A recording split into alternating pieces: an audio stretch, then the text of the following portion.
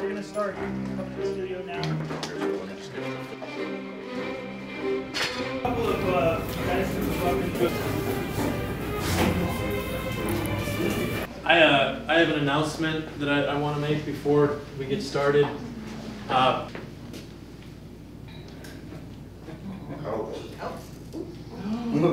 I wasn't actually one of you. I'm the conservative commentator. Oh. I will be defending Donald John America. That's right, ladies and gentlemen. I am here in urban Dallas talking to 26 Kamala Harris supporters, me versus the masses, for your education and viewing enjoyment. We will be discussing topics like immigration, the economy, character, abortion, foreign policy, and democracy and corruption. And I, for my own safety, had to go undercover, but that's not what matters.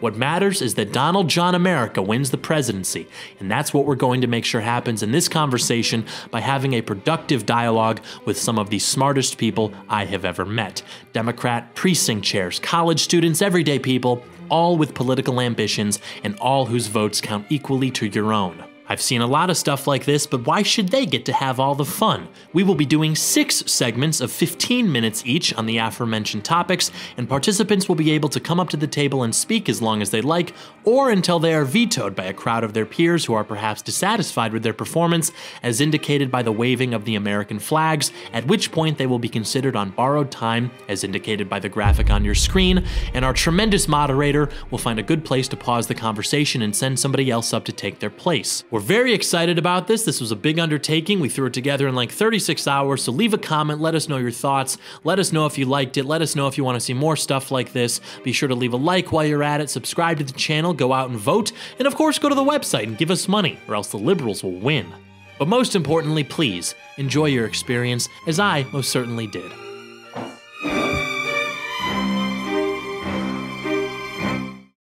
From what I understand, the United States of America is considered, I believe, the most compassionate country in the world because no other country, from what I understand, illegal immigrants. Mhm.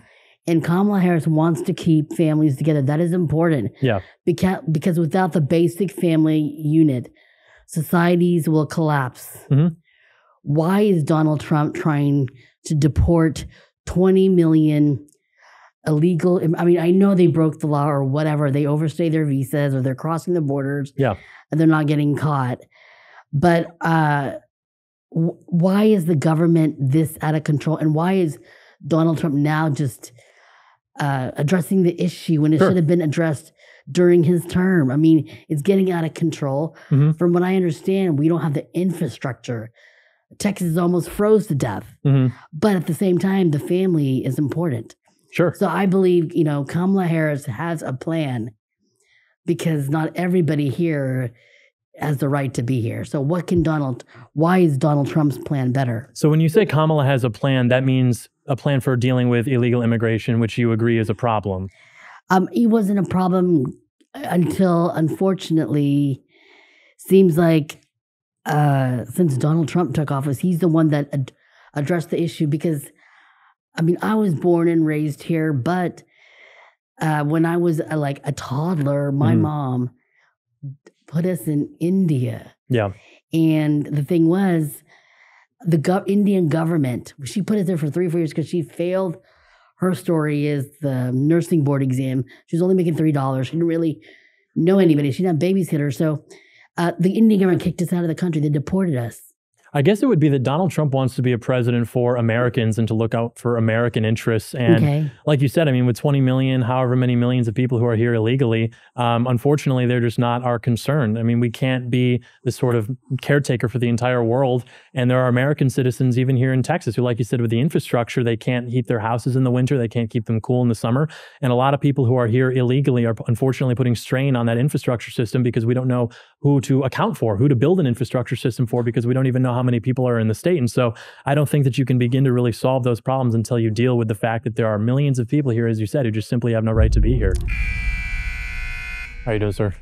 John, Daniel. nice to meet you. Nice to meet you.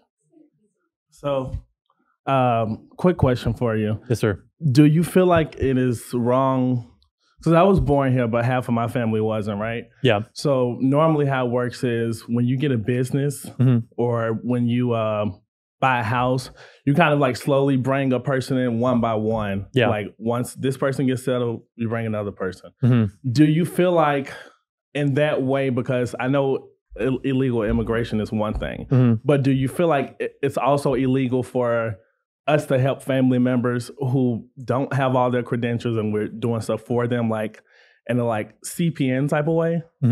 I mean, principally, I don't think it's the worst idea in the world. But what tends to happen is when you have something like that, like with anything, it tends to be exploited. And so you might have somebody come over and they're doing very well in the country. They start a business, they want to bring their family over. I have no issue with that. But again, like with anything, you have instances where it's exploited to then bring over entire families, extended families through, I mean, it's referred to, you know, in politics Yeah. as like chain migration. And I have to have a problem with that because it's not only the illegal immigration, but it's like you've had, I think, a million people on average every year who have come in legally. And you look at what those people are doing in this country, and they're taking jobs that otherwise would have gone to Americans.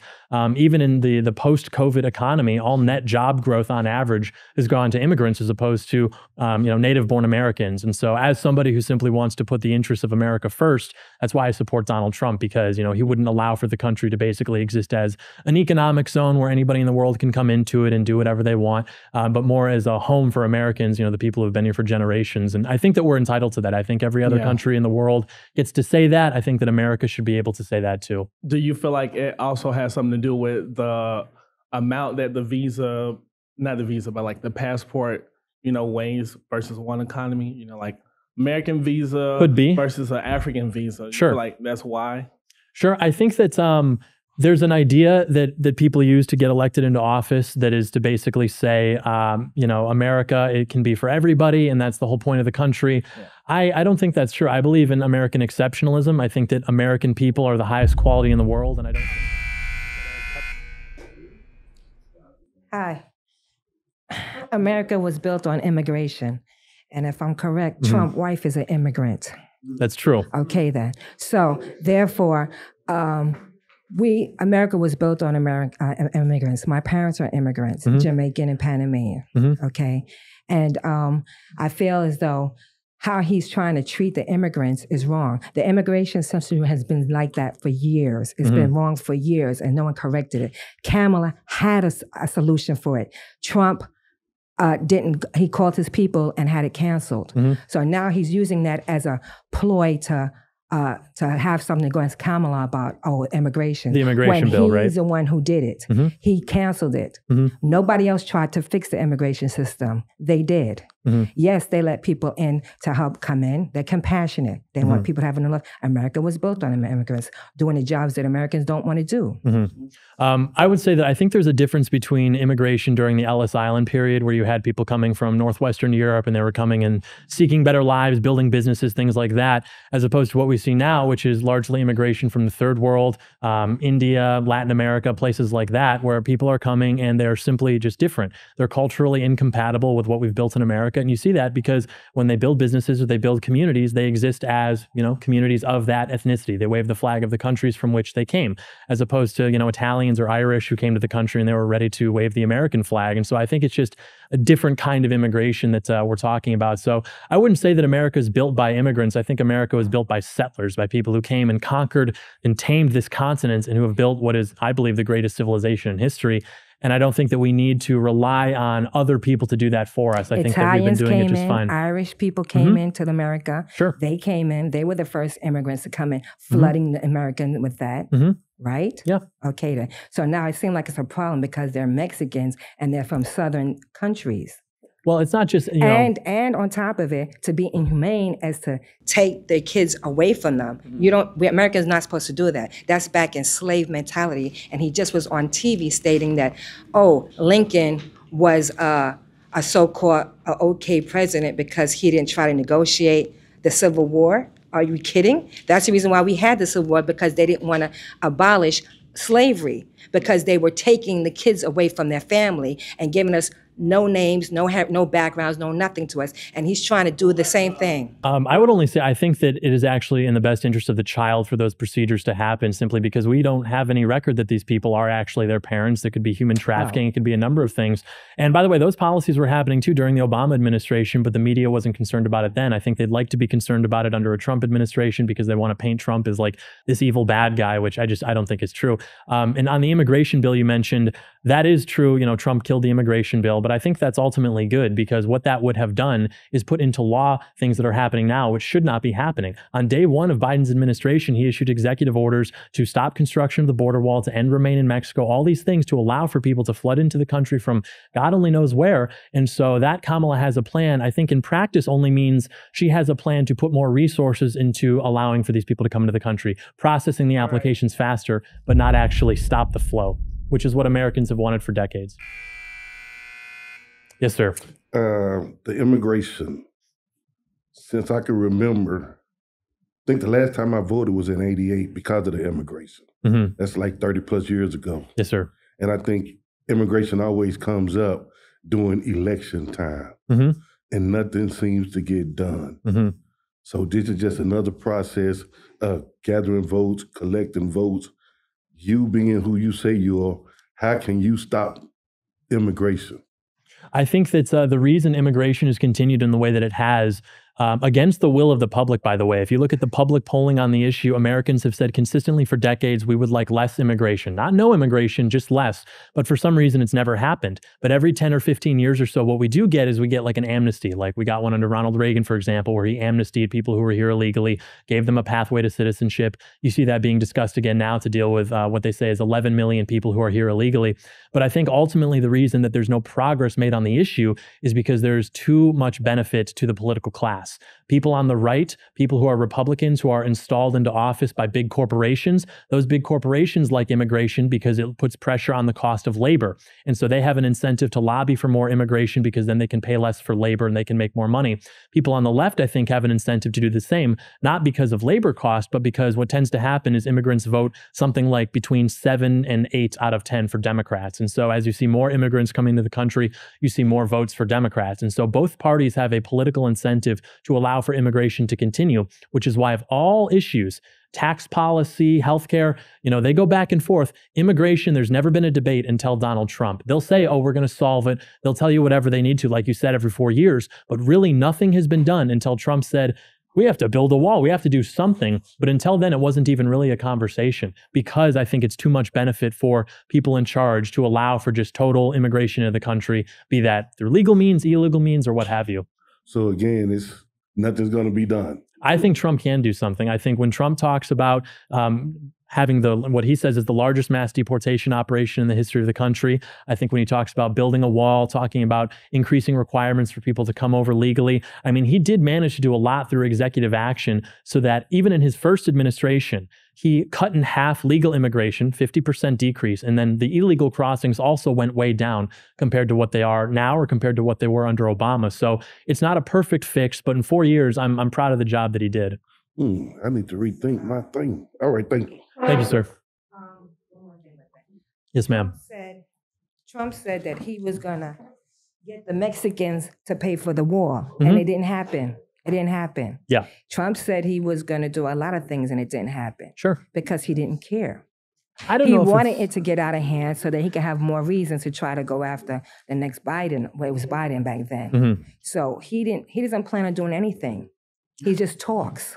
As someone who has to, I have to frequently defend this to other Republicans because they'll tell me the same thing. He as- talks. so- talks nonsense. Yes. The problem is, like I mentioned to the other gentleman, it's you have a situation where everybody wants immigration to continue. And so if Donald Trump is the only voice in politics saying, I would like immigration to stop, he is going to face opposition from the establishment in doing that, which is why we all know in the last two and a half years, we've sent $200 billion to Ukraine, which I don't even know where that is on a map, but we've given them $200 billion. The wall was supposed to cost $8 billion. That's pennies on the dollar, but we couldn't get it done. And it isn't because Trump didn't want it to get done. It's because at every level, even his own Congress, people like Paul Ryan, Because he talks. That's why. people like Paul Ryan, these neocons, establishment, just they didn't want that to That's all happen. he does. He faced opposition. He doesn't. that no he's one no else does. action. He's all talk. He's no action.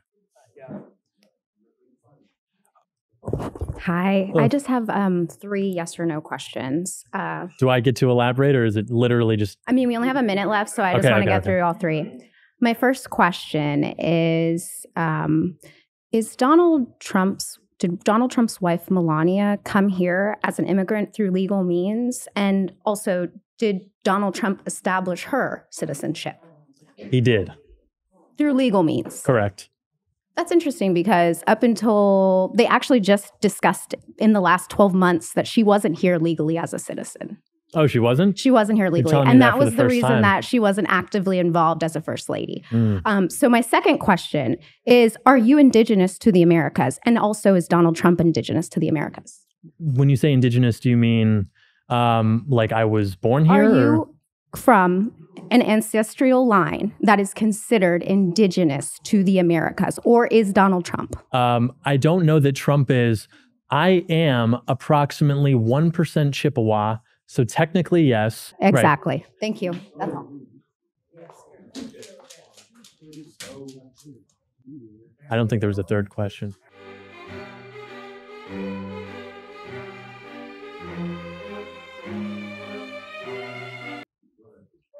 Angel, nice to meet you. John, nice to meet you. Nice to meet you. Um, so I have one question, and this is from after watching the debate. Um, something that did stick out to me, and I've thought a lot about is Trump's plan to impose tariffs. Mhm. Um, he says it's going to increase domestic production, which I understand it's going to force companies to actually produce in America. However, that is going to increase the cost of goods for Americans. Groceries that we're trying to make affordable again are Mhm. going to become more expensive Mhm. the average grocery bill is 112 um i mean it's insane i just want to ask like Yeah. as a trump supporter how do you see that as an economy that is better than what we have right now That's a great question. Um, and because like Trump's in office, we have the Mhm. tariffs. It doesn't exist in a vacuum with just the tariffs. And so if you've got now more domestic manufacturing in a Trump economy, you also have things like lower energy costs, um, things that are you know lowering the cost of inputs into these businesses so that but they're able to produce. businesses are going to increase the price of their products well, if they're competing with because they're going to have to accommodate for whatever they're paying to Yes. produce in america correct But if they are not having to put as much money into those because the cost of energy is cheaper, it's cheaper to move stuff around, you know, domestically. That may even offset the uh, price that would be imposed on the consumer by, you know, the tariffs on foreign goods. Moreover, I think that if you look at the history of, you know, any economy, really, it's like production equals prosperity, and I think the American economy is doing very poorly because we don't make anything over we're here. under trump's tax plan though I'm not talking about taxes. I'm talking about production. well, i'm just saying in things. general we're still you're Mhm. saying the economy is doing better but we're under ta- trump's tax plan there's a misconception that we're under biden's right now The economy is not doing very well. It I is don't. No. right it's not and i'm just pointing out a misconception that it's something i learned as well that Mhm. we're under trump's tax plan and whoever becomes a new president has the authority Yeah. to rewrite that There's more though to the economy than than just tax policy, it's a right? big part though Of course, but you know, production is also very important. And right now, the American economy is based on basically like moving numbers around on screens, but we don't actually really produce anything. Which is why all the job growth that we've seen in the last ten or fifteen years has been things in like the service industry. We haven't seen long-term sustainable jobs and things like manufacturing because all of that has been offshored. And Donald Trump wants to return that back, and I think that's something that should be uh, should definitely be done because you know you look at the history of this country when we had the most of our economic growth in like the latter half of the 19th century into the beginning of the 20th century something like uh, 95% of all those goods that we were importing had tariffs on them. You look at every man who's on Mount Rushmore, all of those guys were protectionists. They all supported tariffs. Um, I mean, this is what has built the economy of South Korea, Japan. Every economy that's ever really been powerful has done so because they are producing things domestically. And America has decided to stop doing that to try to basically extend its power throughout the world, you know, getting into bed with China, with whomever. Mhm. And all that's done is empower these other countries, which are incompatible with what we believe are American values. And so I don't think long term there's any real solution but to make American uh, manufacturing great again. Okay, and so going back to manufacturing Mhm. again, um, part of his tax plan would be to also cut tax for people who are making a lot more for bigger companies, for Sure. billionaires, for millionaires. But the Mhm. thing is that puts it back on the middle class, which the middle class, is a known fact, is the hardest working group of in America. Sure. Correct. Um, so again, I ask when you say that you believe Trump will build a better economy, he's building a better economy for people who already are doing well, if not for the rest of their life, generationally, right? They're set for life. And Yeah. then you have lower, excuse me, lower class, middle class who are busting. I don't know if I'm allowed to curse, but they're busting their butts. Yeah. Um, and it almost seems as if it's for nothing. You have immigrants who come here and they work so incredibly hard, Mhm. and it's almost as if it's for nothing because they can never see progress because either taxes are going up and inflation is going up. That How seems is- to be happening more now, though, under than than under the Trump administration. But under the under Trump, ad- Trump's administration, we were under Obama's tax plan. that's a, yeah, no, his like big legislative accomplishment was the Tax Cuts and Obama Jobs handed Act. a wonderful economy off to Trump, which he then destroyed. That's not unfortunately true. no, though, it is true. If you look at our numbers, if you look at the numbers, Obama handed Trump an Mhm. economy where jobs, people had jobs, jobs, the job, um, what, what's the word I'm looking for? Um, joblessness, people Yes. who don't have jobs, that Yes. rate was a lot lower. Yes. That, thank you. Unemployment, thank you. Unemployment, the unemployment rate was a lot lower. Um, and that was because Obama handed that over to Trump. Mm-hmm. what he inherited from the Bush economy, right? With Again, but we're still saying when the presidency was passed over to Trump, Mhm. it was not where it was. Once Trump entered office, it sharply declined. Yes. And Republicans, specifically Trump supporters, want to blame Biden for this. But what you're referring to, though, with the Obama job growth, again, those are service industry jobs. You look at the actual numbers of what those jobs were that were being created, those were not sustainable, high income, high earning jobs like a manufacturing job, for example. If you look at consumer confidence, small business confidence, towards the last two quarters of Obama's administration, all of that was going down and it went back up under Trump because he cut regulations, he cut taxes, which, you know, Cut his. taxes for who? He, cut taxes for the middle class because the average middle class family saw, I think, six thousand more dollars in their pocket because of Trump's tax plan. The lower class even had 40 percent higher real uh, household net worth, and all of that now under the Biden economy has gone down. So um, I understand what you're saying about you know cutting taxes for wealthy people. Maybe they create more businesses and things like that. But everybody saw that. Everybody saw those returns, and I think that's why you look at who's endorsing Kamala now.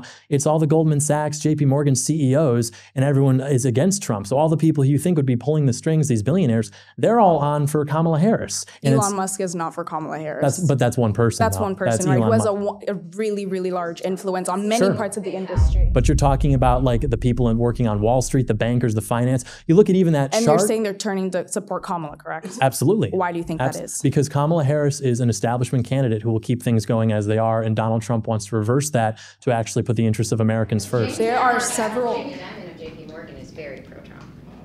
Again, these are these are individuals. If you look at who actually in different services are reporting support for Trump versus Kamala, the only two occupations in this country which have majority support for Trump, I believe, are law enforcement and maybe postal workers or something like that.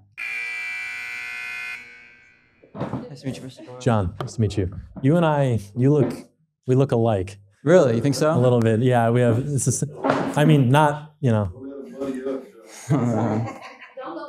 Yeah, you're you're a handsome guy. You know, Oh, thank you. be one of us. Um, so I just wanted to get back to the imports. You said that you believe like a 20% across the board import. Um, I don't know if I would I would give a figure exactly. I'm not an economist, but I think that policy is directionally correct. Yes. you think it's directionally correct? I mean, to be fair, Trump also said like he doesn't really care about the rate. Like it could be 100%, 200%, whatever it has to be. Um, so the, the rate doesn't matter. But I mean, if you have it across the board, I don't see how you could think that the costs that the consumers in America would experience would not rise. I mean, the Mm. cost of labor would be significantly higher if it was in the United States or if it's still imported. Obviously, there's a 20% or 10% increase that they have to make up for to maintain their margins. Sure. Um, well, I think I mean the tariffs themselves seem to be a pretty good idea because the the Biden administration has even kept the tariffs that Trump imposed on China. Um, and in terms of how it would affect costs, again, we're trying to think for the long term. I mean, you look at like how China has managed to arise as a global power in just the last few decades because of their manufacturing.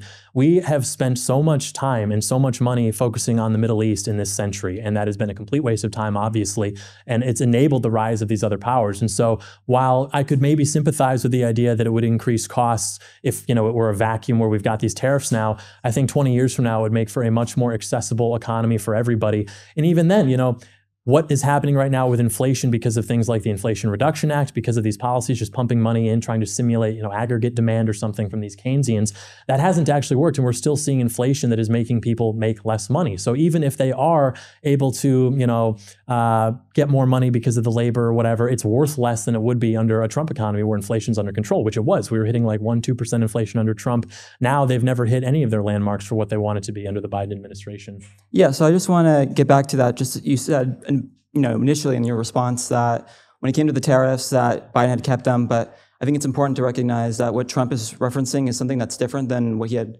uh, put into place during his administration. Um, specifically where it was uh, with China or with specific goods Mhm. or uh, industries. Uh, whereas the one that he is trying to roll out or would attempt to roll out during his uh, next administration, if he's elected, would be one that would apply to all countries, including our island allies, like for example in the EU. Um, and it would also uh, go across all industries and services or products.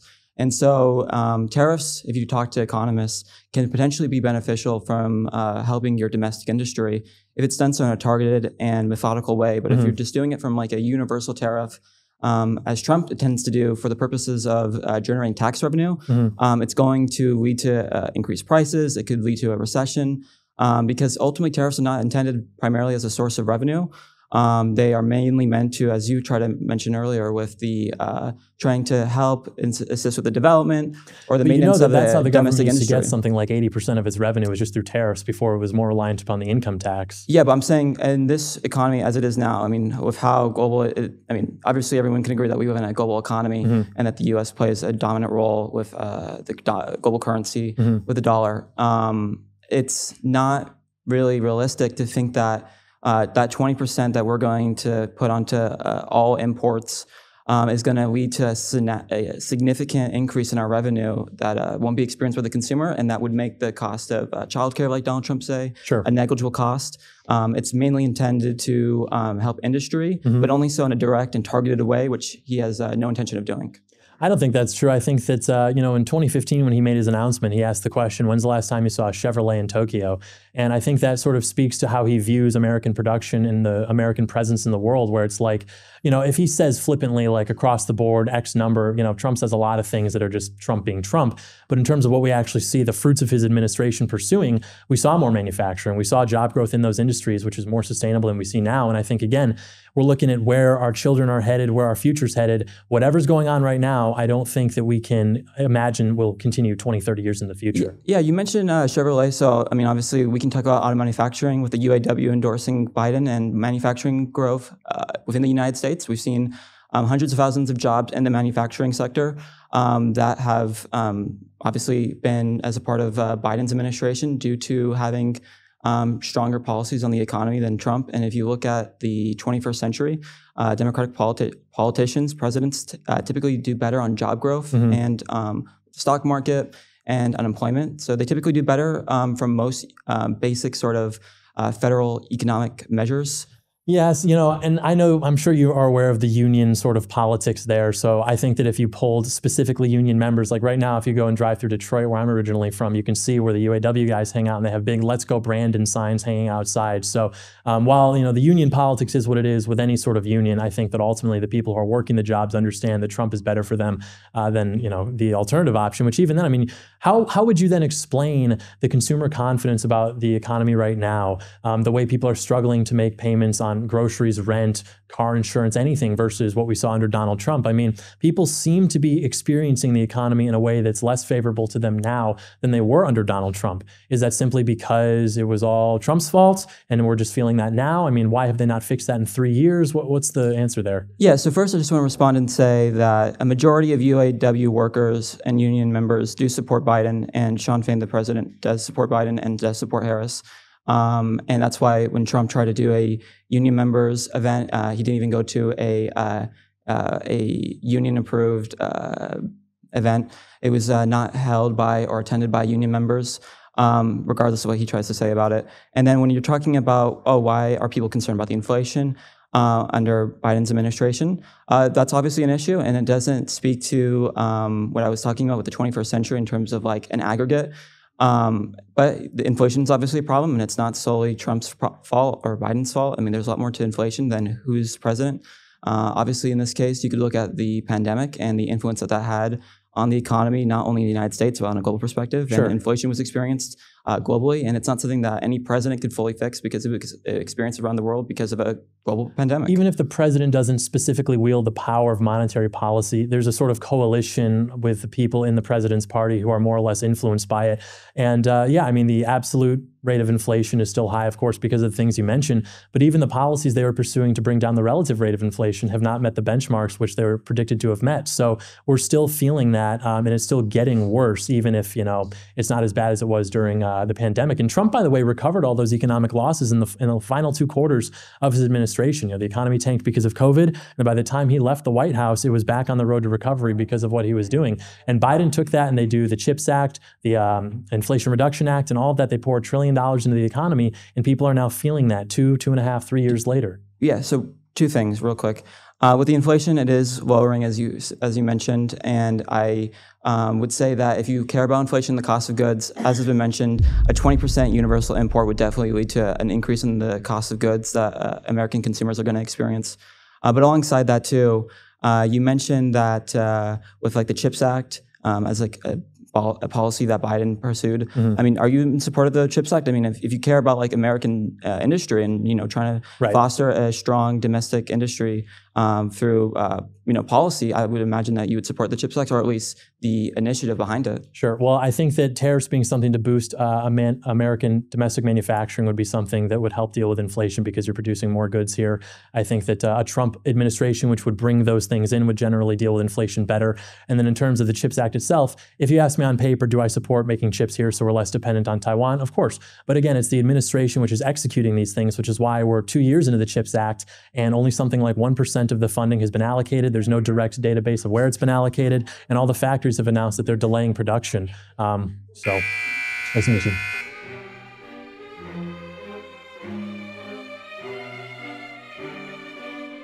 How you doing, sir? Good. John, nice to meet you. Kobe. Um, oh, do I start? To, Uh, yeah, I mean Trump's character. Okay. I, I think that it's generally good. I mean, I don't look to Donald Trump like you. You will never hear me say the sentence, you know, I just think Donald Trump is the best example of how to be a good husband and someone who's very humble about their means. But I think that uh, what Donald Trump represents as a leader is something that's ultimately good. I think that he does put him uh, put American interests before himself, and Yes. um, I think that uh, especially when compared to his opponent Kamala Harris, I don't think that she has integrity. I think that she's doing this to benefit herself. I think that most people in Washington, most people in politics do the same. I think that Trump is a rare example of somebody who's willing to literally lose money, have lower net worth, experience bullets, all sorts of things, legal problems, if it means that he can make his country better. And I think that that's uh, something that's ultimately good. I I do agree with that, but I do have a. Mm, I guess let me put it like this. Sure. Um, my mom used to wake me up instead of differently than other children. She used to be like, um, "School is it's time for school." You know, you know. I guess go ahead and get up. But she would whisper it to me instead of someone saying, "Get up, Herb." You know, Yeah. come on. So I feel like Kamala. Um, I'm sorry, that sounds like a touching story. well, I'm just saying Kamala Harris is more of a um, a motherly figure, more nurturing. Trump is more Yeah. kicking the. Yeah, I get that. I understand. but he'll get the job done. What was wrong with that story? There was nothing wrong with that story. However, I'm there was nothing wrong with that story. No, but I think it misses the point of this topic, which Mhm. is the character. Sure. Somebody who has the audacity to say that he feels free to grab women by their genital area. Mm. He has a wife. He has made sexual he's made sexual comments about his own daughter. His own daughter. What were those comments? what were his comments? Yeah. That if she wasn't his daughter, if she wasn't his daughter, he would go ahead and marry her or date her. That is not something you say about your daughter. He said this. He's talked about his daughter with Howard Stern. Um, Is that American exceptionalism? I think that we are talking about Donald Trump as a presidential candidate. as a presidential candidate, he's a convicted felon. And offhand comments he's a he makes convicted on felon. radio he's shows. a liar. I don't think he the charges spread are legitimate. propaganda about Haitians. What, How were- is what that- was the propaganda about the that Haitians? That they're eating cats and dogs in Springfield. Are those the they're memes? not. No, no, no. That is something he said in the presidential debate. Hmm. He said with his whole chest that they're eating cats and dogs in Springfield, Ohio. There were videos of people eating cats and there dogs has in been Springfield, no Ohio. known report. There Yes, has there been have. the authorities have said there's been they're spreading propaganda. Haitians are now no Haitians are now extre- experiencing hate crimes because of something he said. That was an unsupported claim he made, Okay. a very dangerous claim he made. How is that somebody you want to say has a good character? I'm not concerned about comments he's made on radio shows in terms of It's, the. it was a presidential debate. It well, wasn't with the stuff he said about his daughter. Um, and then in terms of the presidential debate, things he's saying about what's going on in Springfield, there were videos I saw of people walking with geese, with cats, and they were cooking them outside. Those are They real were videos. Haitians. They were Haitians. I Has it been reported by not- Springfield? It has not. Yes, there were residents all they over have reporting it. they, it There has were- not. Okay, a resident. Yes. Again, they can just say whatever. Just like Trump said it in the presidential debate, they can also say that. But I- there's no facts. There have been no known reports made to Springfield that that is actually. I don't think happened. that's true. There have That been lots of residents were discussing said. it. I don't trust has said it. reporters and I don't trust police. You trust I- Trump. Yes. Okay, so again, Trump is a convicted felon. He has. Why is he a convicted felon? What do you mean? Why is he convicted felon? I mean, why? What were the charges? tax. I believe it was taxes with his company. He wasn't filing his taxes correctly. So business improprieties. Right. Exactly. I don't really That care is- about that. But that's the same person you want to run your economy. Yes, because that has he- no. as we again, discussed in the previous segment, he did a great job running the economy. Just okay. Well, let me ask you Let's this. go back to his character, though. Let's go back Sure. to his character. Let's Yeah. not get off topic. Again, he's a convicted felon. He has multiple accusations, which ha- he has been. I don't know if he's been convicted of, but I know he has multiple accusations of sexual harassment. He's a known And rapist. those have all failed. They have not all failed. They're They still going through. No, they've had to settle He in civil court because there's been no like with um uh, the one recently for like eighty something million dollars she had to pay out. It was found out that she had no evidence. There was Okay. nothing there. Okay, and So- then one thing that has happened recently that I, for me, was just, it says it plays the day how he is. Mhm. In a video, he made a statement. This was in Columbia, South Carolina. He said, "You have a black president and you have a white president.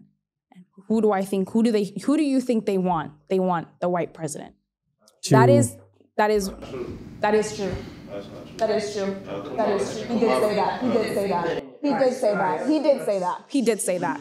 How does that make you feel? Because that's completely irrelevant to the presidency, but he's bringing up race. And again, my issue with him is he has created such a divide in this country, one like we have never seen. Mhm. How is that somebody you can sit here and say you want not only an office, but someone who has a good character? I don't feel like that is somebody who values me because, yes, I am black. Sure. And that is a part of my identity. That makes me who I am. You have to consider that. It is not white and black. It's not black and white. It's not. But for somebody to sit and actually say that the two things that make them different, his difference from Kamala is that he's white, and that's why the people want him. That's a dangerous ideology to spread. And we're going to end up recreating history Yeah. if we let that continue, if we let him into office. I'm not. I'm not familiar with the comments you're referring to. Um, it sounds to me like it's just something Trump says offhand. But again, I don't know if you've ever been to a Trump rally. It's like the most multiracial experience you'll ever have. No, it's not. It absolutely They're all is. white. They're all white in the is. background. No, and you look at And too what happened. I mean, Trump was doing initiatives trying to help uh, Black Americans. Even in the 1990s, he was being honored by uh, initiatives to like increase Black participation in business on Wall Street. And Trump has always gotten along very well with people of all backgrounds. It wasn't until, and a lot of people here are old enough to remember how beloved Trump was as a cultural icon He until had housing he and ran didn't for allow. president. He denied housing to black people. He- That's not true. Yes, it is. He had housing. He had housing. That's not and true. he denied it to black people. That's not true.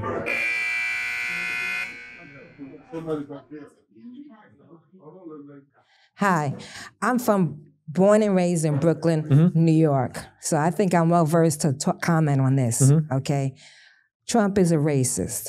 He's a narcissist. He's a con, and he's a liar. Okay, he had buildings. He didn't allow black people to go in there. That's not true. Yes, it is Not true. because of his I was a New Yorker. Yes, he was. He four boys was wrongly convicted of a rape of uh, Central a- a Park Central? Park jogger. Yeah. He put They out. A, he. Mm-hmm. paid eighty thousand dollars to have it advertised. I was there. I lived there. Mm-hmm. Okay. The, the the trauma that it caused people in, in in New York, we were we couldn't. I have a brother the same age. We Yeah. were scared to let our kids out because he put in an ad to put them to death because they were guilty. Kids, kids. You know, they admitted to they were not guilty. guilty. Yes, they got were. DNA. No, I'm serious. They were Look up the. Central Park Five. They were coerced because back then the the um the police force was kind of corrupt. They were coerced. They because they were poor black boys living in the projects. Okay. Their parents could not afford a lawyer. Only one, Yusef, mother, got Mm-hmm. a lawyer who actually was a real estate or she was either Jamaican or African, got a real estate lawyer, not even a criminal lawyer, Mm-hmm. right? And that's why he's the only one who didn't confess. Okay. I I was there. I remember it. You saw the He Central. did. The, he. I was living it. Okay. I lived. I lived in New York. Okay. Okay. He is a racist. That he would put an ad out on a paper to convict boys. What does young race boys. have to do with it? He's a so he has. Please let John respond. Okay. Yeah, I mean, if you're saying it's about race, I mean, if you hear a story about five boys doing that to a woman, what does race have to do with it? But Wouldn't he do that about You're anybody? innocent until you're proven guilty. That's America. They were. That's yeah, they should have America. been proven Trump guilty. deserved to be murdered then because he's convicted of He's not convicted of rape. Yes, he is. That's not convicted true. of rape. Convicted of rape. He's a convicted. felon. That's not true. He's a, he he's abused women. He's he's he has no respect for women. He likes to have sex with them when he's married. He cheated on all his wives. Matter of fact, I forgot to mention his two wives were immigrants. Mhm. Okay, um, he has no morals. No, he cares nothing about nobody but himself. He's a liar. He paid. He had immigrants working for him and don't pay them. Okay. I have a question then. So you're from New York. You've probably walked by Trump Tower. Think my about- father, my father Union helped put the light fixture in Trump Towers, Okay. and my father would say every day, "This guy's an asshole." So why would you think then? Excuse my language. If Donald Trump, prior to getting involved in politics, he's living at the top of this skyscraper that's got his name on it. He's got you know supermodel wife, all this money coming in. Why would he then enter into the realm of politics where every day people are mad at him? They're charging him with things. His net worth is going down. Why would he go through all of that still now to where he's literally has assassination attempts if he didn't care about America? If he was doing it for himself, he would check out He's whenever, doing right? it for him. He likes the power. He likes to have power. That's But- all it is. but- he likes to be recognized. He likes to. Ha- he likes to have the power. That's all it is. what power That's all though? it is I mean, he wasn't able to get anything done, He's right? a So narcissist. what power does he really have? He just likes to. He, he incited the, the um, the um, Capitol getting because he likes the power that he has these people just running to him when Hmm. he says something. Yes, you know he likes to have that power. How you doing, sir? John. Nice to meet you. Oh, here talking about the character, right? Yes, sir. Yeah. Uh, well, I, I believe Donald Trump is is an okay character myself. Mhm. Uh, we both share the same birthdays, and I th- and I, I, I also believe. Uh, uh, sorry for saying, it, but we as black people, we get caught up on the wrong candidates. Yeah. Like, I think we forget like Kamala Harris, the vice president. Mhm. So what if she become president? What would change? Is she already the vice president? And Yeah. I do feel like when uh, Trump was in office, I feel like it was a better economy and Yeah. and things for us, you know. And and another thing, Kamala Harris also uh, locked up a lot of African American. For possession of weed, like just Yeah, yeah, and I think we forget about that. So yeah. They. Yeah. it's okay. It's okay. I appreciate you, man. Now, I'm gonna bring race into it. 400 years of slavery. Um, and also, oh, sorry. Also, just like the history of America, I don't even have to go that far deep, but why is it such a big deal if the first woman and the first black woman runs a country when y'all have fucked it up for so many years, hundreds of years? I don't understand that. So, do you think then that like everything that's happened in American history in terms of politics is all a monolith of white people? Majority, yes. And white people all act the same, have the same interests, and No, we messed not- it up so the- badly. not the same interests, but like I will say, white men are accustomed to they are accustomed to telling and not listening. I think that's a dangerous route to go down because if you start saying something like, okay, look at the white people in charge of this country, look how No, badly a they fact, messed it up. Well, you look at non white people in charge of other countries in the world and nobody wants to go live there and everyone wants to come live here. So, again, if you start keeping score, you can get to some pretty scary conclusions, which I would disagree with. But I think my whole point is that like we want to focus on character, though, for Yeah. there's a little bit of a. Two minutes. So, could you just tell me for a second the top three positive attributes of Donald Trump that you think make him an excellent leader specifically? Sure. Um, incredible resilience, charisma, uh, and transparency. Can I ask you a question about that? Um, transparency. Yep. Uh, that's inter- interesting word to use specifically for someone who isn't even transparent with the person they pick to be their spouse. Do you think that if you pick a spouse and then have to go cheat on them, do you think that you're very good at judging other people's character? Yeah, I'm not really concerned with like tabloid gossip. I'm concerned about the border being wide open and the economy. Um, Do you, know, one think it's thing- tabloid gossip if there's Absolutely. physical evidence of it? Absolutely. And one thing I would say, though, just to, I guess, wrap this up, we've heard a lot about Trump's character like we have for the last 10 years, which, again, he was a beloved cultural figure. It was only Beloved by whom? everybody. He was, I'm from Connecticut, and I can the- tell you that New England hates Donald Trump. he Trump. had the highest rated shows. Everybody loved Trump. And now what we're seeing is these character assassinations by the media. Character assassinations? Absolutely. So I guess I would just ask you this. Okay, if Trump's character is the worst, sure. Why do you trust the character of somebody like Kamala Harris or Joe Biden, people who have been career politicians who have been in charge of this country as it's seen its decline? Kamala Harris is a prosecutor. I trust a prosecutor to do the job of a prosecutor over a felon to do the job of a felon. Uh, do you think that it is American exceptionalism to have a felon representing our country? I think Donald in Trump is American domestic and exceptionalism, yeah. foreign relations. Yeah. Do you think that's something you're proud of? I'm proud of Donald Trump. You're sure. proud. So you Yeah. support felons being CEOs and executives. That's what you want to see. use- That's the America, you use the exceptional word, America you, want to see. You use the word felon to invoke imagery of scary crime, no, I'm just asking you. tax impropriety. I'm asking you. With Is all of that, these like you think those are the people that are going to uphold democratic values of honesty, respect, Yes. American exceptionalism? You think someone who is Yeah. actively engaged in lying and fraud Which is going not. to do those things? which he's not, and he Even has and he he's been, he's been, he's already, he's literally in in legal, like legal. He's in in the legal preparation right now.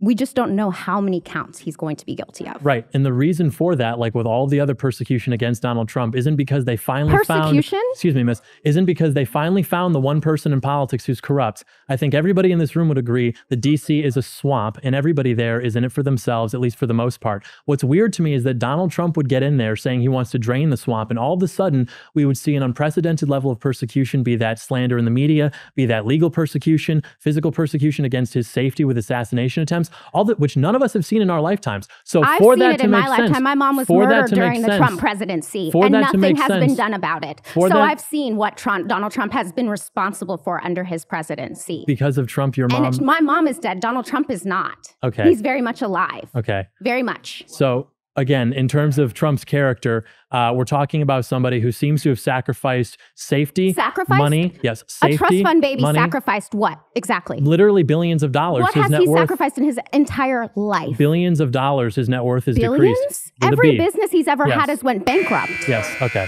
Thank you.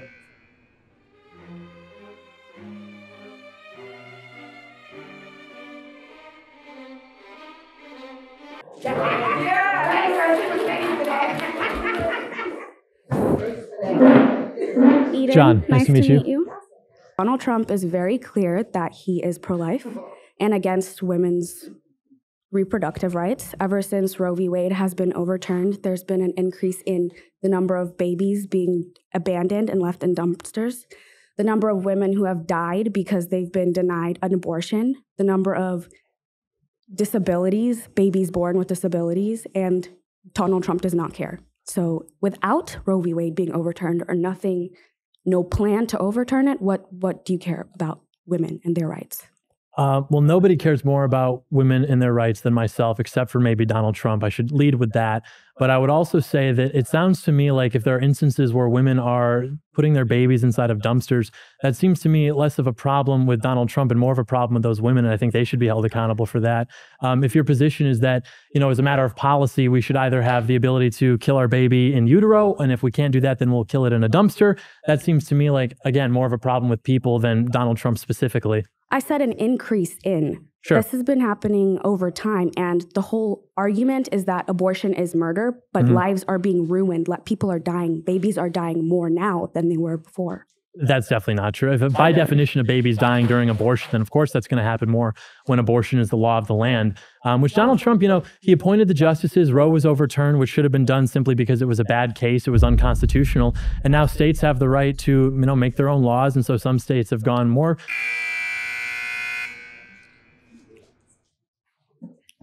John. So, would you say that you're pro life? Sure. I think the issue with that phrase is that after abortion bans, and abortion bans in Texas are very strict, Mhm. and since 2021, 2022, uh, the rise in infant deaths has gone up 11% in Texas as opposed to 1% nationwide. And maternal deaths has gone up 50% uh, in Texas as opposed to 11% nationwide. Maternal mortality and uh, morbidity are very much on the rise in Texas. So I Mhm. think that there is very clearly not life in, in that abortion ban. Yeah, you know, I the phrase pro-life is a PR thing. Um, so I understand why it's sometimes silly for people to say I'm so pro-life, but then you look at where that might manifest across the board, and it's like, okay, well, clearly you're not. Um, so I understand that concern. I would just say that I think it's a false binary where we have to choose between either what you're describing, which I would have to look into because I'm unfamiliar with, or we simply have abortion access and women are able to terminate uh, their children in utero, which I don't think is a good solution either. You know, if you're describing a situation where people feel like so tormented by the idea of a pregnancy that they're willing to uh, abort the child or they're willing to go to the extent of throwing him or her in a dumpster or killing it or the whatever those seem to be issues more of the economy or of uh, healthcare policy, things like that. And abortion seems to be something that's downstream from that, which is why, to be honest with you, in 2024, I'm looking at what Donald Trump is saying, and he's really not talking about this issue, um, which a lot of conservatives even are upset about. They're mad at him because he's not being more hardline. He's not endorsing um, an idea of like a federal abortion ban. He's saying that he wouldn't be in favor of that. And to me, that makes sense because it's like if you're Donald Trump, you're trying to make it easier for American families to grow, to exist. And what you're describing seems to be less of a problem with abortion policy more of a problem with whatever's going on in this country that would make people think the idea of a pregnancy is so bad that they would have to resort to such extreme measures to deal with it, as opposed to simply raising a child, which I think most people would say is you know, the highlight of their lives. I agree that raising a child can be the highlight of lives for a lot of people, but there are also a lot of circumstances where a child can very much set you back in life.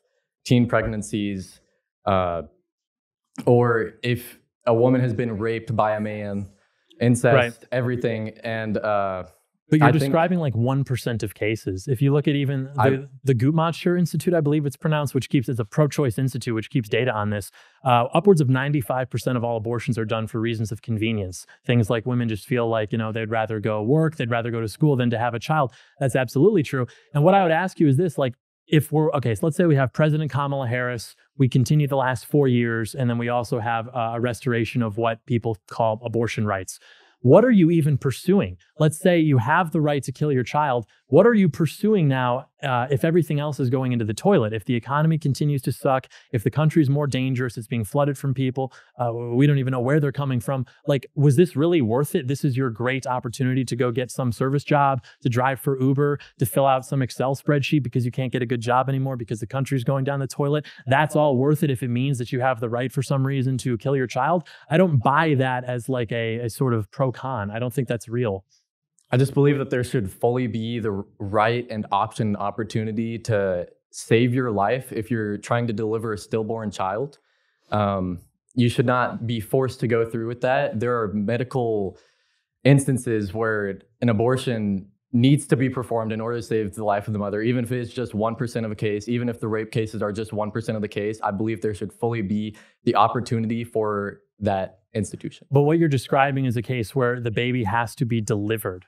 And what will happen is they will deliver the child. And if the child has a chance of being viable and surviving, they will not provide to that child medical care. They will literally let it die there in the hospital or wherever um, as a matter of policy, as opposed to then trying to support that life. But again, we're talking about one in every thousand, one in every 10,000 cases. And the reason I don't like that is not because I discount the circumstances surrounding that, because what tends to happen is people say, well, what if this really horrible thing happened that would justify this? And they use that to then allow for complete whatever you want, whatever reason, as a matter of policy. Um, and I just I disagree with that on every level. Okay, I'll get up here. Nice speaking with you. How you doing, young man? Still doing good. I need for you to pay close attention to what I'm about to say. Undivided. My wife just found out my mistress pregnant. And I need to know where abortion clinics at close by here. Can you help me with that? So if I let me make sure I heard you correctly, your wife has discovered that your mistress is pregnant, and you're asking me if I know what to do in that situation. You for abortion, right? Pro life? I think that, like, obviously, you know, you may have gotten yourself into a little bit of a pickle there.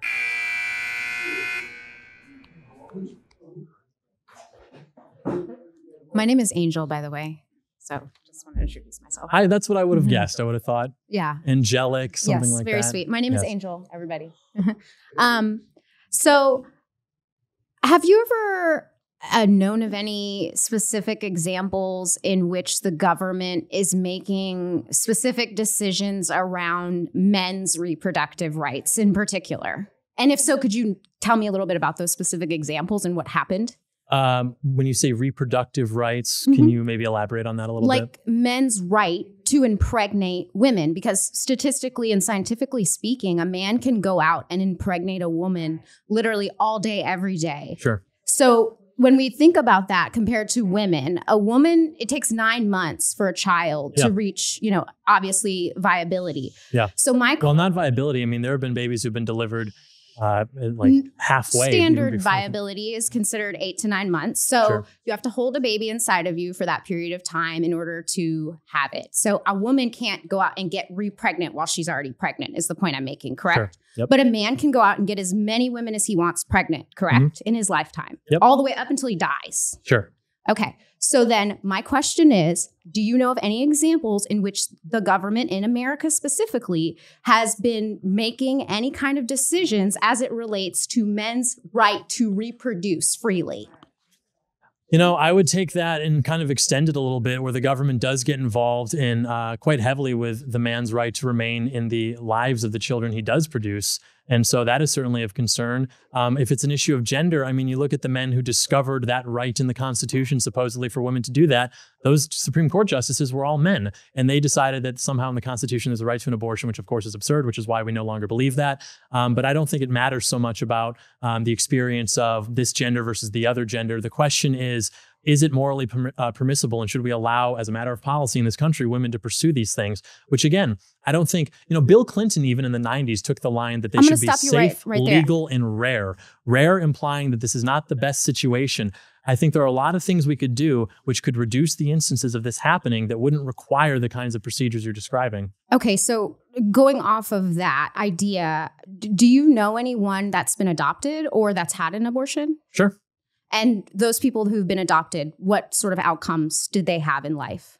uh normal Were they also Caucasian by chance uh or Eastern European the descent? three i'm thinking of uh two are caucasian uh one is not Okay, uh, every person that I know that was adopted, including my mother, Mhm. has met an untimely end, meaning that their life was full of turmoil, meaning Mhm. that they were brought into this world without any sort of safety nets. Okay. The majority of people serving time and incarcerated right now in this country are people that are products of the adoption or the or the or the uh, the foster care system. So, with that in mind, do you really think that the right to life actually guarantees that people will have a good life if they're not wanted? I think it's very convenient for us to sit here and decide people's risk aversion for them. I think any person here, you know, as much crap as we may have been through, ultimately, if we could go back and decide whether or not we want to be born, I think most people would probably prefer to be born.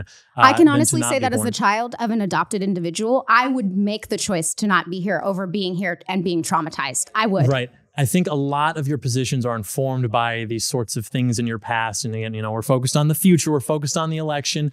And uh, I just don't think that Donald Trump is really making this an issue of his Would campaign. you trust Donald Trump to give birth to a baby and be responsible for a woman's entire eight to nine months of pregnancy? And if you asked me to bet on if Trump could deliver a baby, I would not make that bet. no. okay, so do you think then it is it is responsible or respectable or that it makes any kind of logical sense for him to be Hello. Um, let me ask you a question. Sure. Um, if the government were to say that all men were required to, oh, actually, let me start here. Why are you pro life? Um, I don't believe that it is morally correct as a Catholic to be able to terminate uh, a, a live being in the womb just because you think it's like convenient for whatever reason. I don't think that's a right that's guaranteed. I don't think that you should be able to do that. Um, I think it's a stain on this country. Okay, so I'm a Catholic as well. Um, and with that being said, how And you're pro-choice. Yes. Let me finish. You can only Let me one. finish. I am. Pro- no, you can't. No, you can't. No, you can't. I am a woman. I will not be told what to do with my body. Not by the Pope. No. you have to no, listen to as a Catholic. No. No. Okay. Can I finish? Yes. So, if the government were to say every male should have a vasectomy at the age of 16, and then when they, as a devout Catholic, right? As a Catholic, right? Let me finish. As a Catholic, you cannot have a child outside of marriage, correct? So, to protect that Catholicism, that standard of Catholicism, Yep. every male has a vasectomy. And then once they get married, it is reversed. If that was a law that the government put in place to lower abortion, for example, how would that make you feel? Uh, as a Catholic, I have to oppose that because, as you know, as a Catholic, we oppose sterilization in sex, meaning sex has to have the possibility of creating life. And if you, which is why Catholics are also against A uh, separation of church and state, though. I'm not in, like I'm not Well, including. you asked me as a Catholic if I would support that. And separation of church and state is a, a whole other thing, which I think is a misleading sort of um, political talking point. But yeah, we believe that sex has to have the possibility of creating life, which is why we don't support vasectomies, we don't support birth control, things like that. The problem seems to be that people want to live as they will. And then when the consequence of sex occurs, which is the conception of a child, they instead of wanting to deal with that responsibly, they want to place that burden onto the child itself and say, well, I have so many things I want to do, and so I should be able to just go get rid of the child and kill it so that I can continue living my life, which is so great. And I think that that's very immoral. immoral. So at at the time of conception, do you do you agree with um, chemotherapy? Let me ask you that. Do you agree with chemotherapy? Do you believe in chemotherapy as a treatment for cancer? Sure. Because it's killing cells, correct? Sure. So if a woman has an abortion in the Mhm. first trimester, that child outside of the womb is not viable. It cannot sustain life on its own. Right. What is the difference between a clump of cells, cancer, and the fetus that is also not viable outside? Like, I want to understand why Yeah. We are okay with killing cells in this situation, but in this situation where a woman who does want to, to achieve a higher education, get a job, and having a baby would stop her from doing that because she then also has to get a job on the side, stop going to school. She's now kept in place and she cannot do anything. Yeah. Why are you so opposed to that? And just also, why, as a male, are you so opposed to women?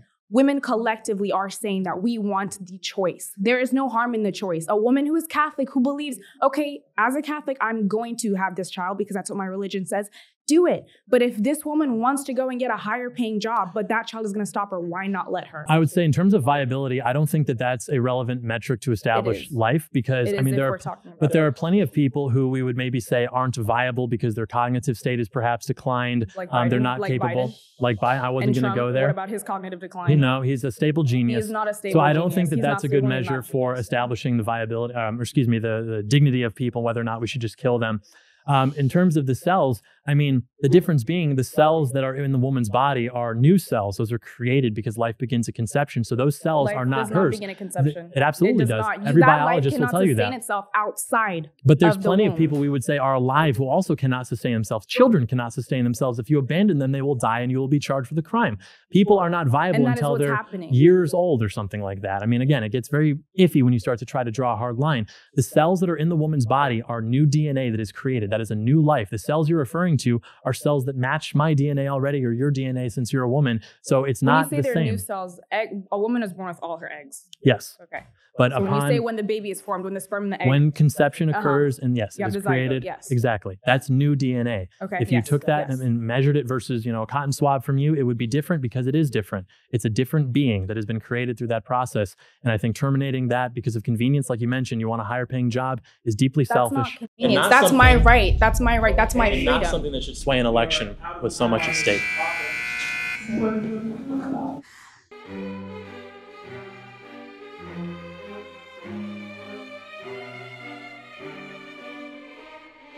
Hello again. hello So, you know, it takes a global economy for a country to be successful.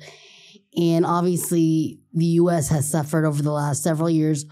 Why would Donald Trump, you know, the president is a professional job. Why would he speak unprofessionally about other countries when we depend on like the Middle East for oil?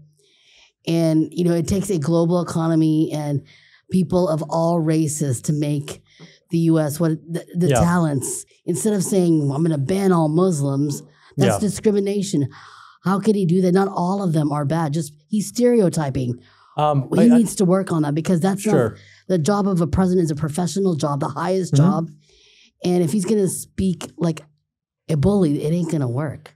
again, you know, we understand sort of what we're signing on to with Donald Trump with his comments and the things that he'll say. Um, I'm more concerned about the things that he does. And under Trump's administration, we had energy independence. You know, we weren't dependent upon these other countries necessarily for oil or for things like that.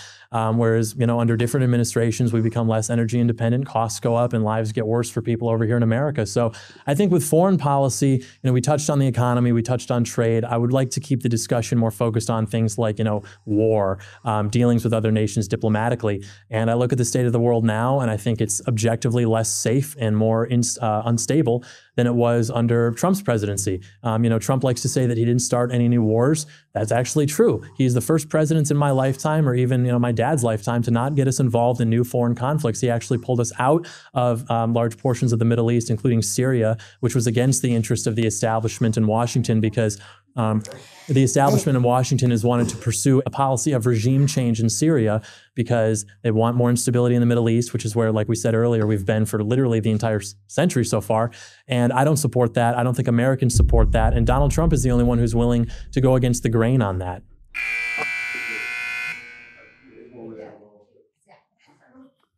How you doing, young man? Great since we last spoke. Yeah, you hanging in there? Yes, sir. Hey, um, speaking of the war, Mm-hmm. I have nieces and nephews coming up. Mm-hmm. Uh, what can you do to see that there will not be a draft? Yeah, I, I think that's a, a concern for anybody who's you know roughly my age or the age of your nieces and nephews. Um, simply like not get us involved in more foreign conflicts. Basically, um, I mean it sounds simple, but that's true. I mean any situation where you would need to institute something like a draft would require America being imminently under attack, and so long as we can prevent that, I mean we wouldn't need to have something like that happen. Um, and I think Donald Trump has a very clear cut peace through strength kind of foreign policy, which is why under Donald Trump, America wasn't being attacked, allies weren't being attacked. We crushed ISIS, we reduced our involvement in the Middle East, and there was a more uh, peaceful, it was a safer world. And then in two years of the Joe Biden administration, you see Russia invade Ukraine. You see now the conflict between Israel and Palestine popping off. So we're dealing with multiple theaters now, all asking America, what are you going to do? So we send them hundreds of billions of dollars, American military equipment. These are not things that Donald Trump wanted to get involved in. I mean, can look back his public statements, even when the Iraq War you know, was beginning in 2003, he was against it. So um, I think if you're looking to reduce the risk of family members having to go die for a country that's not even theirs, you need to support a president who does not have an interest in war. And unfortunately, Donald Trump is the only option we have for that. In terms, of, he's the only politician in my lifetime who has come out against those wars, be those Republicans or Democrats. Everybody was pro involvement in the Middle East until Donald Trump got up there and said to Jeb Bush, George Bush's brother, he told him in that debate in 2016. The towers came down under your brother. Your brother made us less safe. The war was a big fat mistake. That's career suicide for any other Republican politician. Donald Trump pulled it off because he had his own money and he was a household name already. But nobody in Republican politics dared to speak out against these foreign wars until Donald Trump, which is why under Trump's presidency, we didn't see these escalations. We didn't see this destabilization the way you see it now because the establishment likes war. It's very profitable for a lot of people. And so Trump is the only one I think who can move against the grain on that, which is what he did. So you can honestly say we got the technology, military technology, where we where we won't need boots on the ground. You know, modern warfare is definitely a lot different. Um, if we did have something like, God forbid, a actual traditional war where America is going and you know doing stuff, then yeah, I'm sure we'd have boots on the ground. But you'd also have drones, you'd have sanctions, you'd have things like that. But um, where you know your fam- family members would be drafted, um, that would require an extreme scenario, which I think could only be prevented by basically having a president who's respected and not laughed at. I mean, you saw Chinese diplomats, you saw Russian diplomats. They're making fun of Joe Biden because they understood that his cognitive state wasn't quite there. You know, people look at the commander in chief, the leader of the armed forces, and you might not like Donald Trump's rhetoric, but that's a guy who under, you understand he can sort of back up what he's talking about in terms of you mess around with us, you're going to face consequences. Which is why, um, you know, in 2020 or when 2019 was wrapping up, you saw there were militias in the Middle East, and they went and they attacked the United States embassy. They were taking pictures with our seal. They were making fun of it. Three days later, Donald Trump blew up the second most powerful guy in Iran. And everybody said, oh, he's done it now. There's going to be World War III. And what did Iran do? They threw some missiles in the general direction of some of our military bases and they caused some concussions for guys over there, but they didn't do anything else because these countries are little chihuahuas and you need somebody who can not get involved with them, but who can let them know that we're not going to be pushed around anymore. And because of that, they won't act in ways that put American lives at risk, which again is what we saw under Donald Trump. We're seeing the opposite now under Joe Biden. So, um, you know, I have a sister in law who's in the Army. I have a friend who's in the Marines. Mhm. And while um, President Obama was in office, uh, he did get deployed a couple times to fight in the Middle East. And um, I just want to know what is the plan or strategy to keep military here, Mhm. but to also prevent foreign countries from essentially coming after us? Mhm. Um, you know, that's the first thing that I would Sure. like to know. Um, so a large, like when I was growing up, for example, one of the things that I would always hear, which I'm sure everyone here has heard a million times, is that we have to fight them over here, over there, so that we don't have to fight them over here. And it was a way of justifying involvement in the Middle East by basically saying these people hate us because we're just so great, and if we don't go fight them over here, then they're going to come and commit acts of terrorism in America, and then we're all going to have to deal with that. It turns out that's not actually how it works. Um, they don't hate us because you know we're just so great, USA number one. They hate us because we're involved in their countries trying to institute forms of government which they just don't want unless we're over there literally at gunpoint forcing them to be involved in these things. And so Donald Trump, when he was running in 2016, he basically made three promises in terms of foreign policy. He said he wanted to crush ISIS. He said he wanted to long term get us out of the Middle East, and he wanted to specifically uh, not continue DC's policy of regime change in Syria because the Syrian civil war was going on at the time under the Obama administration began. And what the United States was doing literally was we were giving uh, money and we were giving weapons to these militias who were fighting against the Assad regime because we thought it would be better for the interests of America to take Assad out of power and have Syria more destabilized and things of that nature. And Trump was actually the one who broke free from that. Um, he said that no, we're not going to do that. That's so stupid because we're fighting ISIS, and then we're also fighting guys who are also fighting ISIS. And so he took us out of Syria and reduced the risk of American personnel being attacked there. And then you look at the way the media thanked him for that. They said, This is Donald Trump's gift to Moscow because Vladimir Putin was also with the Assad regime fighting these people in Syria. And so they said, Well, Trump must be a, a Russian puppet. That's why he's doing this. When in actuality, it's because we have no business being in the Middle East. I mean, we don't get anything from it. We don't even, like we said earlier, get the oil from it. It's just a big fat mistake. And so Trump has been able to simultaneously pull us out of those conflicts while protecting Americans. I mean, when's the last time anybody here heard about a terrorist attack from ISIS? I mean, he crushed them, killed the leader, um, and it just simply ceased to be an issue. Terrorists in our own country. No, because of the open border. No, uh, Al Baghdadi was killed by Trump. He died like a dog. Um, you can see the monologue. It's quite funny the way Trump articulates it, actually. But yeah, Donald Trump was able to. That's it's not even the same thing. Not even the same thing. resulted in people's death. We're talking about foreign policy. So, yeah, I mean, um, I have great respect for anybody who's involved in the military. But the other side of that is I don't want to see them have to go fight if it's not for their interest. And the best way to keep us safe is to just stop getting involved in stupid fights, which, again, Trump is the first president in our lifetime to actually take that position. I think the bottom line is that like when you say like destabilize all these little chihuahua countries and all of this stuff, I think it just comes down to stealing and exploiting these countries. It's no way that like because America is a great country when it comes to the whole aspect of not dealing with a lot of things and clean water, just you know, basic life necessity. But Sure. when it comes to exploiting people, especially like you know, like you say, third world countries. Yeah. Um, it's because you guys overtake a lot, and um, oh, like don't replace, don't don't um, don't give the money that's needed for what you're taking, like those resources, that coltan, that um, just whatever. You know what I mean? So I don't think I follow. Are you, you're saying that America is wealthy because we're stealing resources from course, other countries? 100%. I don't think that's true. Yeah, hundred percent true. No. I As mean- somebody who, I, as somebody who has immigrants in their family, I can confirm that like kids that do uh, child, you know, labor and Mhm. stuff like that, coltan and all of that stuff, that important mineral for that pretty, pretty iPhone that everybody has. Yeah. Um, yeah, it's a lot of it's a lot of it's a lot of stealing and exploiting going on. So So they're working in those countries, and that's somehow Americans' fault because we want to buy the products of their labor. no, it's it's not that. It's the it's not buying the products. It's more so using the kids for that labor and not properly compensating them. American doesn't do. We have child. I couldn't get a job until I was 16 because we have child labor laws. Yeah, and Right, but we're talking. We're talking about different. America, though. We're talking about American Yeah. foreign policy. But I'm but I'm saying when you say like the whole the whole Syria war and all of this stuff, like there's a reason and we know it's it's something. But it's just one of those things where like I feel like if you're gonna do something and call yourself the greatest country, do it with dignity and Yeah. not bring other nations down.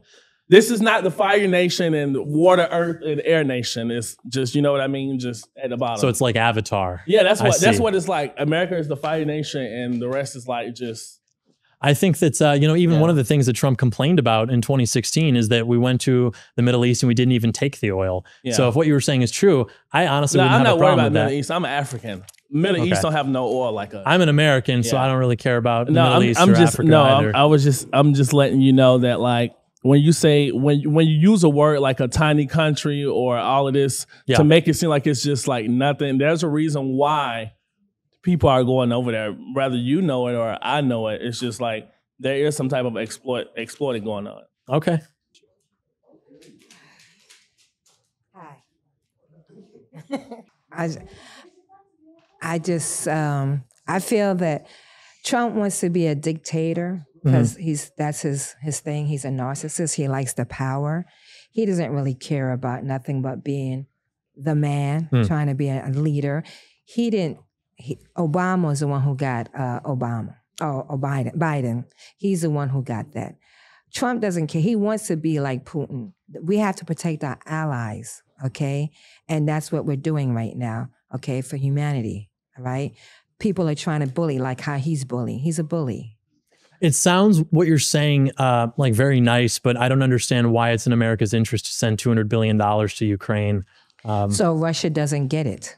Russia doesn't claim it, and then Russia will go down, and then Russia will start getting every other place, and they get bigger and bigger and bigger. That's why we have. You think that we Russia wants to take over the we, world? We, we we did a deal, whereas we partnered with countries to help protect each other and stuff. Right. And so if um if um Putin gets Ukraine, he's starting to take over. you think he's going to take over the world? That's what he's trying to do. He's Okay. a he's a dictator. He's a dictator. Um, I think that that is just simply not accurate. I don't think that Putin has any aspiration to what he was trying to do. You don't think so? No, what he's trying to do is reclaim territory that was formerly part of like the Russian Empire historically, but he's not trying to take over the world like some cartoon character or something He's like trying that. to yes, he's trying to take over the land. He's trying to move over here, and he's trying to be a he's trying to be a dictator. Okay. He's trying to he's trying to get all the countries around Ukraine to try to get more power. Mhm. That's what uh, uh, Trump wants. He wants power. He likes power. So he really, really loves Putin. He likes the idea of being a dictator, having that much power, having all that strength and stuff. That's what he's on. He's on. He's he he's just has he just likes power. Look how he's so talking about a, a day of love when an insurrection on the Capitol. A day of love. But yeah, I mean, died. there's a riot that got out of control. No, it wasn't a riot. It wasn't? He, he commanded. No, he didn't. He commanded that. He didn't mean he didn't do it. He, did didn't- not tell people to go into the Capitol. Yes, and he did. He No, said, didn't. "Come to the Capitol." He said, "Yes, he yes, did." walk peacefully to the Capitol no, is different he from did the riot not. that He said, out. "We're gonna fight. We're gonna fight. You got to fight." Everybody says that He word said in we have to politics. fight. Kamala Harris says that word.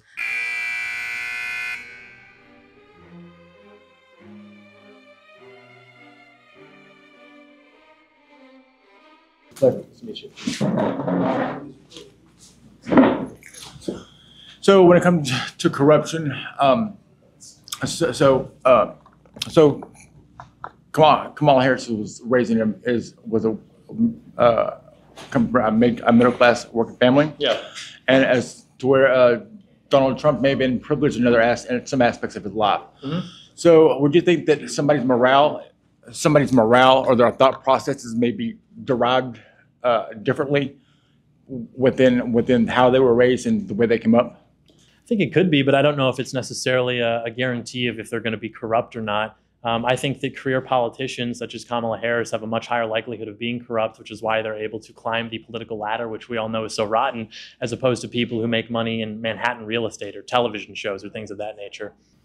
Sure. So so, um, but you don't think like their their mindset is going to be for the uh, people who have less than uh, than than themselves? It could be. Um, you know, if you took a hundred billionaires versus a hundred middle class people and saw, you know, who has a mind to accommodate for, you know, people with less, I would guess maybe you would see something like that. But again, you know, we saw what Trump did in office, and he was putting money back into the pockets of working class families, of middle class families. Um, and uh, we mentioned this during the economy segment. It was a 40% increase in lower class family net worth. You saw like $6,000 go back into the pockets of middle class families because of his Tax Cut Act. Um, so Donald Trump does seem to have an idea that people should be able to afford more and to keep more of their own money. Um, and so while it might be as simple as to say, well, he's rich, what does he what does he know about me? If you look at what he actually does and how he actually talks to people, and also who his biggest supporters are, you go to a Trump rally, you don't see guys, you know, dressed in suits like me. You see like people who look like they just got off, you know, the line or something. These are guys who are like middle class, working class, and you drive anywhere out, you know, you get out of the city, you get into not even the suburbs, but like rural areas. They're flying Trump flags, Trump signs, Trump bumper stickers because they view Trump to be somebody who is going to represent them, somebody who is going to actually be a voice for them, um, because these people largely checked out of politics before Trump which is why you know you had so many first-time voters who were voting for Trump in 2016 because they live their lives. They see you know some guy in a red tie says this, some guy in a blue tie says this, but the country's losing jobs, we're losing wealth, things are getting worse. And Trump comes along finally with a new message, which maybe you don't like it, but it's a new message. And finally, those people feel like they have some sort of political representation, which is why you know this segment's about democracy and corruption, things like that. I think that in a way, the election of Donald Trump is one of the most democratic things to happen in this nation's history accurately representing the will of the people.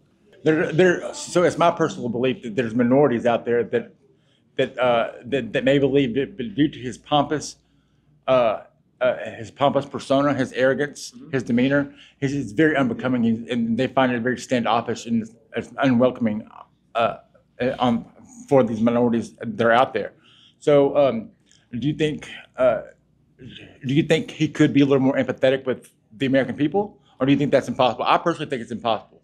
I think I don't know. I mean, you know, I wouldn't say that Donald Trump isn't empathetic. I think he certainly has an ego about him. But I mean, any example in Trump's life where he was in proximity to disaster? I mean, even on September 11th, he was down at ground zero, putting his guys to work, trying to find people, cleaning up de- uh, debris and rubble. Um, you know, he meets with all sorts. Of, he meets with the victims of uh, people who have been killed by illegal aliens. He does all sorts of things to extend those olive branches to minority groups, the First Step Act, different things like that. And so um, I think that maybe he speaks a way that is sometimes off putting to people, but I don't think that means that he has some cold heart and he doesn't actually care about people other than himself.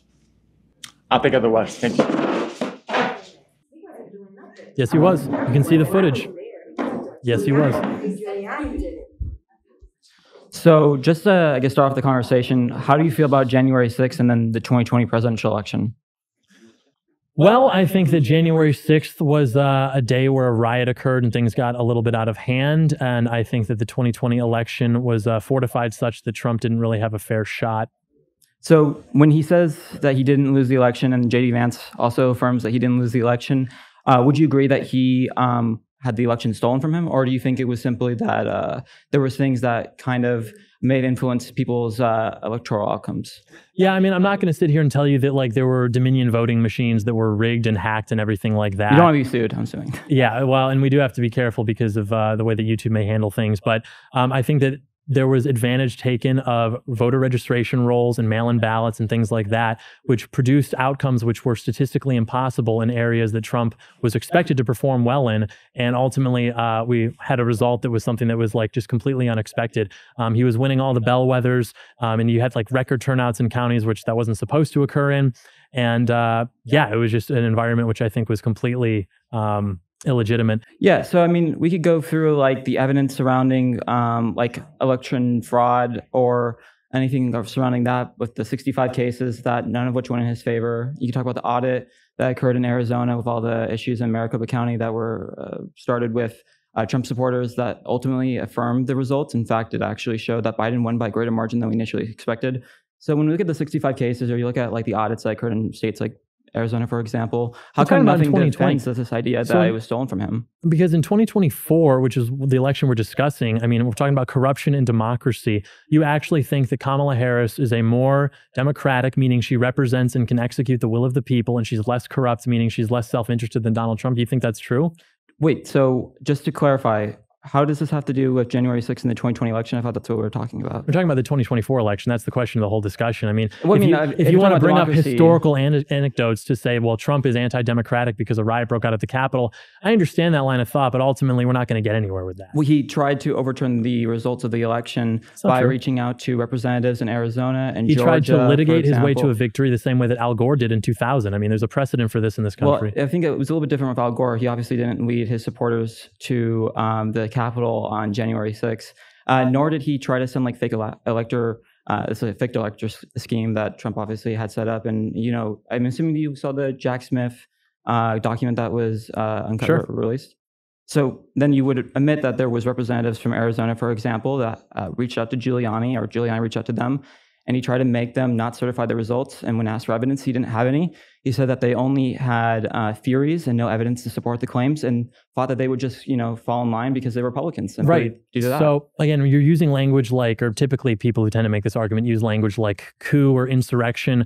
That typical or lead. He led his supporters there. You are invoking imagery of like military dictators actually overthrowing a government. You're talking about a case where people were, like you said, passing back documents to each other. Like, could we do something here? Could we do something here? And nothing came of it. I don't understand why this matters for 2024 if we're looking at the state of the country, the material circumstances that we're all facing, and people are like, well, what about this riot at the Capitol? Or well, what about this other thing? It's like I'm trying to pay for my car insurance. I'm trying to secure the border. There are Venezuelan gangs taking over apartment complexes in Colorado. That is insane to me. And I think that the other side, your side, has a motivation to tr- try to like kind of misconstrue everything and make it more focused on these, you know, very uh, sort of hysterical instances as opposed to just what we're experiencing in the day to day. Right. So, I mean, the discussion is about democracy and about the election and uh, some level of corruption or fraud involved with that. And so, yeah, I think if you look at his uh, efforts in following the 2020 election, I think those are absolutely like important to a lot of voters because I think they're representative of an individual who's unwilling to accept the results if they're not in his favor.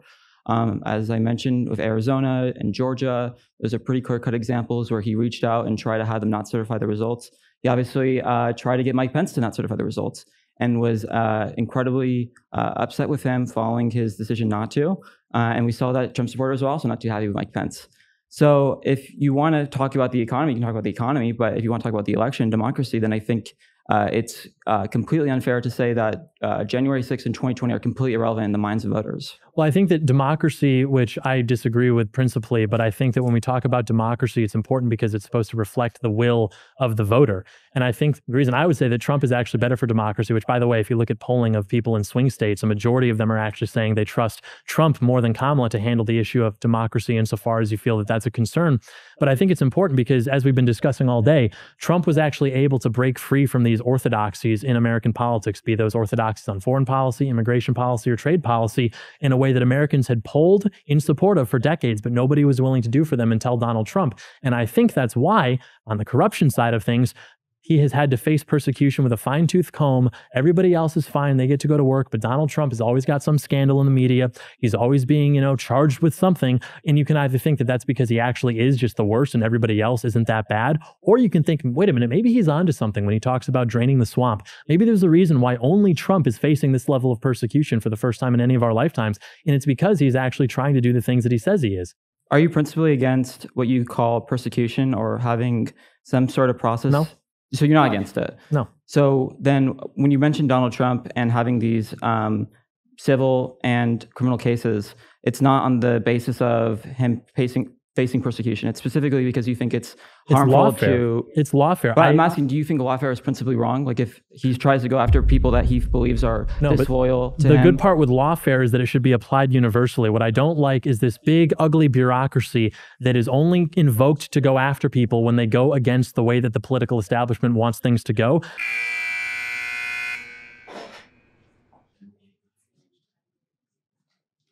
How you doing, sir? John. Nice to meet you. All right. So about uh Trump, he uh got some uh supporters called the Proud Boys. Yeah. So when they um marched the Capitol, he told them to stand up and stand down. What do you think that means? I think the quote you're referring to is when he said stand back and stand by. Yeah. Right.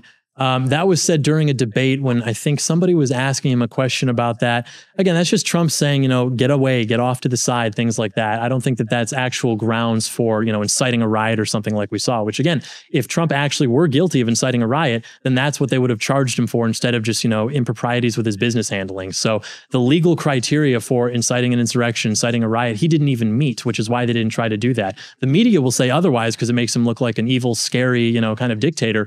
But I don't think that's actually what we saw. I mean, the Proud Boys are a group of like, you know, it's like a drinking club and guys get stupid and out of hand. And then there were actually people on January 6th who were opening up doors, escorting them into the Capitol, telling people, hey, let's break down barriers. People who were in cooperation with the federal government because they wanted that riot to occur. They wanted all that chaos. So they could use it to make Donald Trump look like what a about terrorist. what about the KKK that's a part of the uh, Donald Trump election? Uh, to my knowledge, David Duke has endorsed Jill Stein. Uh, David Duke is like the former leader of the KKK. He just in, in, uh, he just endorsed Jill Stein, who's a I guess the nominee for the Green Party, which is some like environmental thing. So uh, the KKK are not friends of Donald Trump's. Are you for sure? I'm positive, 100 percent sure. But I know he's a uh, a supremacist, so that's really uh Do you think Trump is a white supremacist? oh for sure. Why? Just just on the, the comments and the and the hand gestures and stuff when he's in the crowd when he's giving his you know his debates and all that stuff, it just you know seems like what that's what he was. It's just like the vibes. You're gonna you're gonna write the man off because he gives no, the just, vibe. it's just a- the stuff that he say, like you know, uh, grab a grab a woman by the you know stuff like that, and then that's a that's a woman thing. It's locker Nah, room talk. Yeah, I It's mean he's us. a woman, and then you know he just downgrades women. You know every every chance he get, every time he talks, you know on a anywhere TV, uh, debate, anything, he's just you know. I don't think he's right for this, you know, election. That's why. Yeah, and, and that's your prerogative as a as a voter. I think that um, it's easy to write Trump off because of things he says, but ultimately, if you look at how he delivers for the American people, I think his record is uh, is pretty much unimpeachable, especially when compared to what the Biden administration has done, what Kamala Harris has done. I mean, she had the lowest approval rating of any vice president while she was in that position, which she still is. She's free to do anything she wants. She's second in command. It's not like Biden's running the White House. I don't think anyone believes that. So it's like, what is she doing? What could she do right now? I mean, again, it's easy to look at what Trump said seven years ago about women, or even I think the Access Hollywood tape was in about what, 2005, O'Donnell. 2006. And Rosie, I mean, she is, you know, a little hard on the eyes, I guess, but we, we won't get into that. I mean, if anything, that was maybe a true comment Trump made. If you think he's dishonest, um, Oh. but again, I don't think that that is a accurate way to measure his performance as a president. Which again, we saw did a fantastic job in his first administration. All right, nice talking to you. Um, you said democracy or corruptions, and Mhm. I think that's Donald Trump middle name, corrupt, because that's John. what that's what he Good stands. name. That's what he stands for, corrupt. He's Mm. corrupt because, um, first of all, I just want to comment on two things you said. He wasn't near nine. He wasn't near ground zero. Yeah, he was. No, he wasn't. You can find the video He on YouTube. Mm-hmm. came afterwards because he wants to showboat. Okay. I was there. Okay. My best friend got lupus because she was there. I have family that were police officers that were there. Donald Trump wasn't nowhere near that until afterwards. Rudy Giuliani, he cleaned up that place though. But Donald Trump was nowhere. He always wants to show face afterwards. Okay. So that's one thing I'm going to get you on with that one. Okay. Now, the corrupt thing that he has done with trying to play like he didn't, um, the, win- the election wasn't fair, that he lost, okay, that he won it. He did not win it. He's setting up the precedent for this election too with the same thing. He's trying to set up right now to make it look like it's not fair when he loses, because he will lose. He will lose. I don't know if that's will true. lose. He will lose. I think that he's looking pretty good in the polling. He is going to lose. Okay. Okay. The polling does not reflect everybody. It's just a little certain amount of people. Um, I think that to use the word corrupt to describe Donald Trump is just illiterate to what we've seen. I mean, he got up there on the debate stage against all of those Republican career politicians, and he told them, "You guys are all liars. I'm the only one who can say that I'm self-funded." And you, if you go back and watch those uh, those debates, he was getting booed by the audience, by all of those donors and special interests. That's the Republican establishment. Those are the swamp creatures who everybody here probably thinks has done a horrible job running the country. They hated Trump because he was right. They couldn't buy him. They couldn't use him like they could Jeb Bush, Ted Cruz, any of these people to just be a puppet, which again is why he was able to break free successfully on those establishment orthodoxies, put more money back into the pockets of Americans, get us out of the Middle East, out of these foreign conflicts, start to secure our border. And because he dared to do those things, because he dared to say that we can make America great again, these people have stopped at literally nothing to make him go away. You know, they say time flies when you're having fun, but I guess I just wanted it to last a little longer. That was our video, ladies and gentlemen. That was our journey. We've all grown. We've all learned a little bit more about the American electorate. Who remember, these people are all going to vote. If you do not vote, if you do not bring many of your cool and handsome friends with you to cancel out the votes of those who are opposed to the American way, then what are you doing? Are you just doom scrolling? Are you just watching content like this all day? That's that's fine if it's my content, but what if it's not? What if you're just wasting away?